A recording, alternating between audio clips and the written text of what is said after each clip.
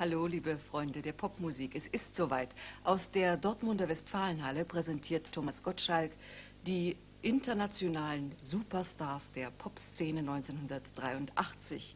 Von Nena bis Elton Jones, von Catchy Gugu bis Barclay James Harvest ist alles aufgeboten, was Rang und Namen hat. Tommys Popshow Extra haben übrigens zwölf europäische Fernsehstationen übernommen. Viel Spaß bei der Nacht der Popstars mit Thomas Gottschalk. Diese Sendung wird in Stereoton ausgestrahlt.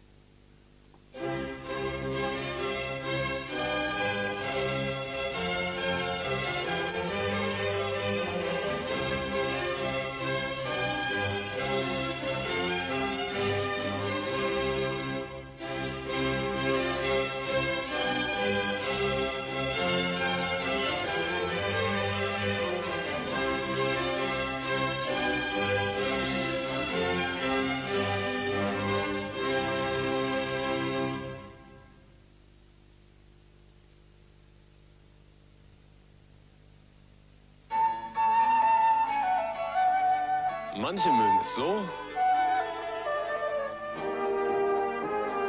Manche mögen es so.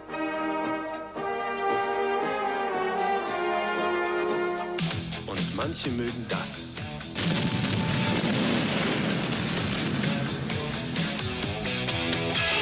Schönen guten Abend, herzlich willkommen zur Ausgabe von Tommys Pop Show Extra, zur letzten Ausgabe in dieser Reihe. Und wir haben uns gedacht, laden wir ein paar Leute ein, damit wir nicht so alleine sind. Ein paar Onkels von mir wollten auch zugucken. Deswegen haben wir einen größeren Raum genommen. Herzlich willkommen in der Westfalenhalle in Dortmund.